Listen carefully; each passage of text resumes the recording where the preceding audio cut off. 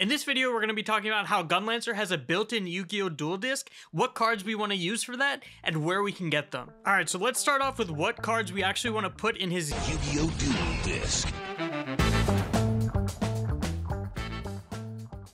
I'm gonna first talk about the easy to obtain sets, and then we'll keep talking about more and more difficult to acquire sets so then you have more goals that you can kind of aim. One thing I would suggest is that the hardest set you should try to start getting right now because it's gonna take a long time in order to acquire all the cards for that set. So the first set, if you have absolutely nothing else, should be the We'll Meet Again set. So the set effect for these cards is that you're gonna be taking 12% less damage at 50% HP or below. The way you get this set is from doing the Vrad's Hideout dungeon in Shushire, so it's pretty early on and really easy to get in that case. However, from a Gunlancer's perspective, you're not supposed to be going under 50% HP for the most part if you're using your shield correctly. Therefore, this isn't the best fit for Gunlancer, however, if you don't have anything else, it's a really easy set because you just get it from that Shushire dungeon and it's only three cards as well. Don't invest anything into the Awakenings in this because this is more or less just a placeholder so you can get a better set soon. So ideally, we want to replace this with the Farewell Weapon set or the Field Boss 2 set as soon as possible. The reason I'm mentioning these together is the first six set effects of these cards are the same. So for every two cards you get in these sets, you get an additional 4% max HP. So as a Gunlancer, this is way better because this is way more applicable to us compared to the last set. Now, where the these two sets differ is in the Awakening. So for the Field Boss 2 set, you get an additional 2% crit rate if you have 18 Awakening pieces. And if you have 30 Awakening pieces, you get 4% attack power, but only when you're not in a party, which I think is really not worth it at all. For the Farewell Weapon set, if you do 30 piece Awakening, you'll get 24% crit rate for 10 seconds if you land a successful attack. So because Awakening your cards is such a limited resource, I would actually recommend not Awakening these sets. For Farewell Weapon, you're actually actually hitting overcrit, so you're losing some of the benefit of that set. And for Field Boss 2, even though the 2% crit rate is really nice, it's not the best you can do with card sets. So the best way to get these card packs is from doing Abyssal Dungeons, the Challenge Tower, Chaos Dungeons, Islands, and also just general quests. Just like with the Awakenings, if you get a card selection pack, I would suggest not using it on these mid-tier sets. I would prefer to use them on the